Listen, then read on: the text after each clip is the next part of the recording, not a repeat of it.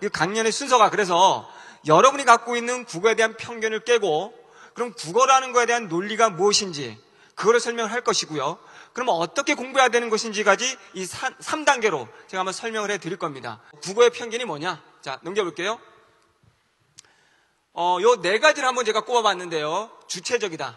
무슨 소리냐면, 우리 주체학습, 스스로 학습 많이 강조하죠. 스스로 학습이 중요한데, 수능에서 스스로 학습은 특히 국어는 하기 어렵습니다. 좀 전에 제가 말했듯이, 자, 예를 들어 본다면, 우리가 비문학의 글을 서론, 본론, 결론, 과학만의 글쓰기의 특성을 알고 우리는 읽을까요? 어떤 시든 시가 딱 나왔을 때 그 시를 정확하게 우리는 해석할 수 있을까요? 잡서를 안 보고 할 수가 없죠. 그러면 주체 학습이 되기 이전에 각각의 국어가 갖고 있는 영역별로 갖고 있는 특성과 논리를 안 다음에 주체적으로 가야 되는 거예요. 문제를 많이 풀려고 하는 거. 고3 올라가자마자 하는 게 부모님한테 용돈 타가지고 기출문제 푸는 겁니다. 문제 푸는 건 좋은데 기출문제란 원리를 안 상태에서 풀어야 돼요. 원리도 모르는 상태에서 어 풀었네 맞았네 틀렸네 이건 왜 푸, 왜 합니까 이거는 원리를 알아서 아 수능 문제는 이런 현대시가 나왔는데 이런 식으로 문제를 내는구나 그럼 문제 이렇게 힌트가 있었구나 이게 기준이었구나 이걸 아는 확인 작업이 기출 문제고 문제 풀인데 그거와 상관없이 그냥 문제 양으로 여러분 안심하겠죠 난 많이 풀었으니까 고2 때 문제를 많이 안 풀어도 점수가 잘 나왔거든요 고3 올라오면서 국어를 딱 시험을 봤더니 점수가 안 나와. 그럼 첫 번째 떠오르는 생각이 내가 그동안 문제를 안 풀어서 점수가 안 나왔구나라고 문제를 풀기 시작합니다. 그건 아니고요. 고2 때까지는 굉장히 지문들이 쉽고 많이 봤던 작품이기 때문에 암기로 했어도 됐거든요. 근데 고3이 올라오는 순간 그게 아니거든요.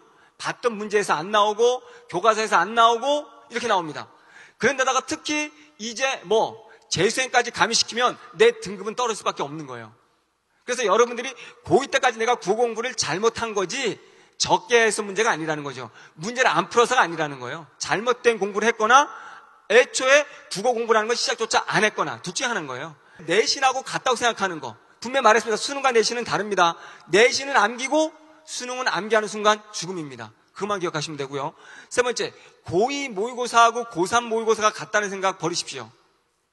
고2 모의고사는 아까 좀 전에 말씀드린 것처럼 쉽습니다. 공부 안 해도 점수가 나와요. 등급이 나와요. 또 한 가지, 아까 좀 전에 말씀드린 것처럼 재수생들이 없습니다. 재수생들 공부 잘하는 친구들까지 가미되면 고3 올라오면 내 등급은 떨어질 수밖에 없어요. 우리가 국어라는 건 반드시 1등은 맞아야 되거든요. 일단 한글이잖아요. 그리고 제가 좀, 좀 이따 말씀드렸지만 논리 몇 가지 안 되거든요. 논리. 그런 다음에 정답의 근거들이 전부 다 지문 안에 있잖아요. 내가 정답을 내 머릿속에 찾는 것이 아니라 지문에서만 찾으면 돼. 근데 왜 1등을 못 맞냐는 거죠. 다른 과목처럼 뭐 단어를 암기하거나 수학 공식을 암기해야 되는 게 아니거든요. 자, 제가 말하는 제가 가르치는 방식이 세 가지 논리예요. 첫 번째, 글쓰기 논리를 알아라. 비문학은 두 가지, 설명문과 논설문의 글쓰기 논리를 알아야 됩니다. 아까 서론, 본론, 결론 말한 것처럼. 더 나아가서는 과학 지문을 쓰는 방법이 있고 경제를 쓰는 방법이 있어요. 그거는 글쓰기 틀이 정해져 있는 겁니다. 그럼 그 틀을 알고 있다면 글읽기가 쉬워져요.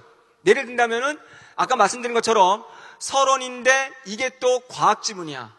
봤더니 삼성에 대해서 갤럭시 이 핸드폰 얘기한답니다. 갤럭시 S3에 대해서 얘기한다고 돼 있어요. 봤더니 그 중에서도 사진 기능에 대해서 얘기한다고 얘기하고 있어요. 그렇다면 우리는 글을 읽을 때 핸드폰 얘기가 쭉 나오겠지만 다른 거 다 필요 없고 사진이 어떻게 작동하는지에 대한 방법이 나올 거예요. 순서상. 그리고 나서 그 방법상에 문제가 있다면 어떻게 보완, 보완한다는 얘기가 나올 거예요. 그러니까 우리는 읽을 때 다른 내용 다 필요 없고 이 핸드폰의 구성 요소가 A, B, C가 있는데 얘네가 어떤 순서로 작동을 하는구나. 요것만 찾으면서 읽어야 되는 거예요. 다른 걸 읽으면 안 되는 거예요. 그런 식으로 서론, 본론, 결론, 설명문, 논설문 각 장르별로 여러분들이 읽기, 글쓰기 원리가 있기 때문에 그 논리대로 읽으면 됩니다. 그 글읽기 논리 하나 더 추가한다면은 서론을 봤을 때 우리가 중심화제라는 걸 알아야 돼요. 얘가 지금 핸드폰에 대해서 쓰, 글을 쓰고 있는 건가?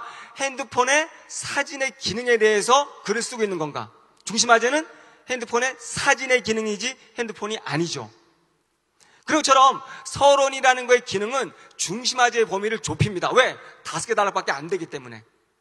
그런 것들을 잘 잡아내. 그러면 내가 핸드폰의 사진의 기능이면 글을 읽어갈 때 주어부, 각 단락의 주어에 핸드폰의 사진의 기능이라는 주, 문장의 주어가 있는 부분 중심으로만 읽으면 됩니다. 나머지는 군더더기예요. 핸드폰의 외모, 뭐 외적인 디자인 다 필요 없는 거예요. 시험 문제 나올 수가 없는 거죠. 여기서 말하고 싶은 거는 바로 그 핸드폰의 기능, 사진의 기능이니까. 이런 식으로 글 쓰는 논리를 가지고 그렇게 논리로 가면 되고, 뭐 접속사를 잘 보면 되고, 이런 그렇게 논리가 있습니다.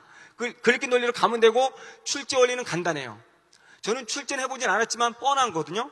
예를 들어서 비문학이라는 것을 가지고 글을 썼다면 출제 요원이 어떤 문제를 내든 이 글에서 주제에 관련된 걸 내지 주제 외적인 걸 내지 않습니다. 쉽게 말해 저는 이렇게 말하거든요. 수능 전날에 니네가 정말 실력이 없다고 생각한다면 보기 문제가 아무리 복잡하든 뭐하든 뭐하라. 주제와 관련된 선택지를 봐라. 보기 쳐다보지도 말고. 보기가 나온 이유는 여기에 있는 지문의 내용을 보기라는 그림으로 바꿨을 뿐 내용은 동일하다. 그렇다면 내가 보기를 이해 못해도 이 글의 핵심에 나와 있는 선택지 중에서 핵심과 관련된 게 답이 될 수밖에 없다. 하물며 적절하지 않아도 핵심을 바꾸는 것 뿐이다. 자, 사진의 기능이 좋단데 서술어에는 사진의 기능이 나쁘다라고 나오겠지. 이게 답이지 엉뚱한 사진의 뭐 외적인 디자인을 답을 하지 않는다는 거예요. 적절하지 않아도. 이런 게 바로 출제 원리입니다. 똑같습니다. 시 같은 경우도 한번 예를 들어볼게요. 시, 현대시, 고전시가 너무 쉽습니다. 재수업을 들은 친구들은 현대시, 고전시가 정도는 1분 안에 다 풀거든요. 1분 안에. 어떻게 푸는가? 예를 든다면, 자, 현대시가 나왔을 때 아까 말씀드린 것처럼 3번 문제가 보기 문제입니다. 이별이래요. 이게 윤동주의 별이라는 시가 나왔는데, 그러면 오로지 이별만 보면 되겠죠. 그럼 어떤 시어를 물어보든 이별과 관련된 것들을 찾아내면 되고, 다른 문제를 풀 때도 3번 문제에서 벌써 핵심이 이별이라고 말해줬기 때문에 이별이 따라 나오면 태도는 정해져 있거든요. 정서는 그림이잖아요. 보고 싶다. 그럼 어떤 문제를 풀든 간에 이별 그림이라는 걸 가지고 적용을 하면 다 풀 수 있어요. 이게 이 시의 기준이거든요. 저도 지금 시를 쓰고 있지만 시를 아무렇게나 쓴다고 해가지고 시가 되는 건 아니거든요. 두 줄을 쓰더라도 이행을 쓰더라도 그 둘 사이에는 논리, 주제가 일관돼야 되거든요. 그럼 수없이 새로운 얘기들이 뭐 이상한 단어들이 많이 나와도 암기할 필요가 없는 거예요. 자, 윤동주가 이게 이별 그림인데 딱 봤더니 어, 비바람이 친다고 돼 있어요. 우리가 암기할 필요가 없는 거죠. 이별의 아픔입니다. 만남의 장애 요소일 뿐입니다. 뿐입니다. 이별만 보면 되거든요. 그런 식으로 고전 시가 도 똑같습니다. 무엇이 나오든 그 기준 하에 가면 되고 고라는 걸 암기할 필요가 없어요. 고는 몰라도 우리가 아는 한글이 있거든요. 근데 또 역시 고전 시가도 봤더니 여기에 뭐 이별이라고 알려졌습니다. 그렇다면 그걸 기준으로 어떤 고가 나오든 갖다 끼워 맞추면 되거든요. 왜? 시도 고전 시가도 논리상으로 초장, 중장, 종장이 나오든 가상이 나오든 주제는 정해져 있거든요. 이런 식으로 글쓰기 논리가 정해져 있습니다. 그렇기 때문에 문학은 너무 쉬운 거예요. 그 읽기의 기준을 문학은 복이라는 문제에서 비문학은 서론에서 그 기준을 주는 거예요. 그러니까 여러분이 오늘부터 구어 공부를 할 때는 비문학은 내가 서론을 봤더니 본론이 안 보이고 문학은 내가 복이나 문제를 먼저 봤더니 여기 나온 소설이 여기 나온 시가 무슨 주제를 다루고 있는지가 보이지 않으면 공부가 안 되는 겁니다. 그것이 되면 이제 구호 공부할 일이 없어진 거예요. 그냥 재밌게 책만 읽으면 됩니다. 논술 대비해서 책만. 뭐가 나올 거라는 암기식을 할 필요가 없어졌잖아요. 그래서 제 강의를 듣는 친구들의 이제 특징이 그동안 배웠던 문학 작품이나 이런 것들이 다 하찮게 느껴진다는 거예요. 쓰레기통에 버려야 돼. 잡서를 보는 순간은 암기하게 되거든요, 자꾸. 왜 그거를 이별로, 왜 그거를 그림으로 말했는지가 중요하지, 왜가. 그걸 암기하는 공부는 공부가 아니거든요. 왜라는 거에 방점을 찍어야죠, 왜.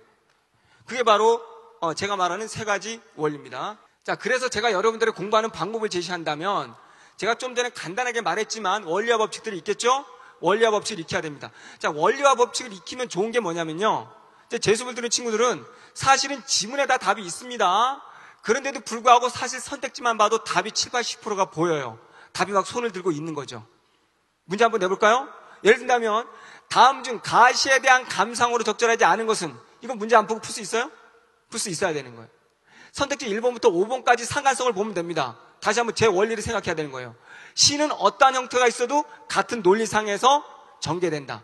그럼 아까 이별이라는 전제를 봅시다. 그럼 선택지 이별 봤더니 이별, 이별의 슬픔이라고 나와 있어요. 두 번째 봤더니 이별인 이별인데 고향과 이별, 어머니에 대한 그리움이라고 돼 있어. 그러면 1번, 2번 때문에 내가 가시가 뭔지 몰라도 게임 끝났어. 이 시는 1번, 2번은 같은 선택지이기 때문에 답이 될 수가 없죠. 적절하지 않은 거니까. 그러면 1번, 2번 선택지 때문에 이 시는 역으로 이별에 관한 시가 됐고 그림이에요. 그러면 3, 4, 5번 선택지 중에서 이별 그림과 관련 없는 5번 봤더니 뭐 부정적인 현실에 대한 극복 의지, 일제에 대한 저항 의지 답이 5번이겠죠. 상관없죠. 이건 이별인데. 바로 이 수능 문제에서 적절하지 않은 것이라는 문제는 이 지문도 그게 소설이든 시든 비문학이든 다 힌트를 주는 거고요. 기준을 준 것이고 논리상으로 맞지 않는 걸 그냥 찾아낼 수 있는 그런 논리가 생기는 거예요. 그러니까 제가 논리라고 말하는 건 지문상의 논리도 있지만 선택지 간의 논리 상관성을 파악해내는 능력 이거거든요. 그래서 이제 제 수업을 들으면 잠깐 안 좋은 습관이 생겨요. 자꾸 지문을 안 보려고 해. 답에다 손을 두고 있어가지고 이렇게. 그래서 이제 저는 뭐 문제 푸는데 아까 말했듯이 고전 시간 내 문제 푼다 뭐 1분 뭐 30초 이렇게 주거든요. 툭툭툭 이렇게. 기준 가지고 다 풀 수 있으니까. 그렇다고 바로 넘어가라고 안 합니다. 반드시 전 지문에서 확인하고 하거든요. 그런 식으로 논리가 필요해요. 그만큼 저는 재수를 했든 삼수를 했든 네가 내 논리를 익히지 못했다면 네가 네 아직도 암기를 하고 있고 암기식으로 문제 풀려고 지금 습관이 배어 있다면 그게 6월이든 7월이든 8월이든 9월이든 상관없다. 기본을 익혀라. 하물며 저는 수능 며칠 안 남았잖아요. 무슨 공부를 할까라고 애들이 물을 때 저는 기본을 하라고 합니다. 기출문제를 적용해서 푸는데 기출문제 적용하는 이유가 뭐냐? 어, 내가 이론이 안 되네. 내가 보기를 봤더니 이 시가 뭔지 아직 안 보이네. 백발복증 오늘 가서 확인해 보십시오. 문학작품 어떤 거든 반드시 보기가 나오고요. 그 보기를 보면 딱 기준이 보입니다. 이게 산업화 도시화인지, 이게 이별인지, 이게 독재인지 보입니다. 그 기준이 안 보인다? 잘못된 거예요. 그럼 보기가 없더라도 아까 말한 것처럼 감성으로 적절하지 않은 거 선택지 봤더니 내가 기준이 안 보인다. 공부 안 돼 있는 거예요. 그 공부가 논리만 하면 너무 쉬운 거예요. 할 게 없어지는 거예요. 갑자기 똑똑해지고 논술도 쉬워지고. 자, 세 번째 EBS 이제 고3 되면 반드시 풉니다. 푸십시오. 그러나 제일 나중에 순서상 1, 2단계에서 다 원리가 잡혔다고 생각하면 EBS가 틀리기 때문에 어차피 나온다니까 작품은 동일하게 나옵니다. 문제나 선택지는 하나도 안 똑같아요. 보면서 아 이거 틀렸는데 이렇게 안 나와. 당연히 이렇게 나오겠지. 변형시켜서 나오겠지. 제가 원리를 가르쳐 주면 소설 같은 경우도 이런 게 나와야 되는데 EBS는 엉뚱한 게 나와 있어요. 소설 창작의 원리상 이게 나오면 안 돼요. 근데 수능은 그런 게 나옵니다. 논리상. 그런 것들을 확인하는 차원으로 EBS를 보는 거예요. 다른 방법들이 다 있다고 하더라도 여러분 의지가 없으면 제로가 되는 거죠. 두 가지만 말씀드리겠습니다. 첫 번째는 여러분들 공부에는 원리가 있다라는 거. 하나 더 여러분 의지만 있다면 뭐든 다 할 수 있다라는 거. 네, 감사합니다.